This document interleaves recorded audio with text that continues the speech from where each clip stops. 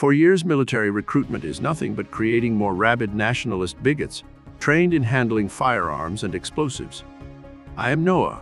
You are watching NNP News. Military insiders warn against Agnipath recruitment scheme. Touted as a way to reduce burgeoning defense pensions, critics say the scheme will adversely impact the armed forces' organizational ethos and operational effectiveness.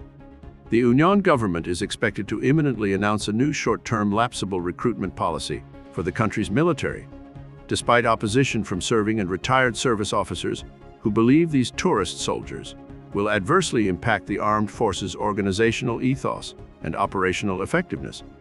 The latter also believe that this new plan will degrade the overall character of the Indian Armed Forces, especially the Indian Army, IA, which is expected to be the first to implement it, and cautioned against its initiation.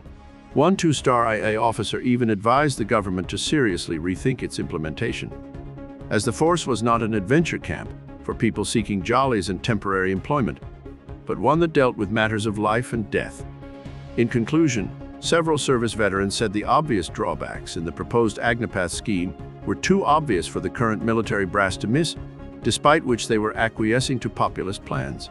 Agnipath is a blind curve that the military and government are negotiating without adequate wargaming the consequences at a time when the country can least afford it, alerted a three-star officer.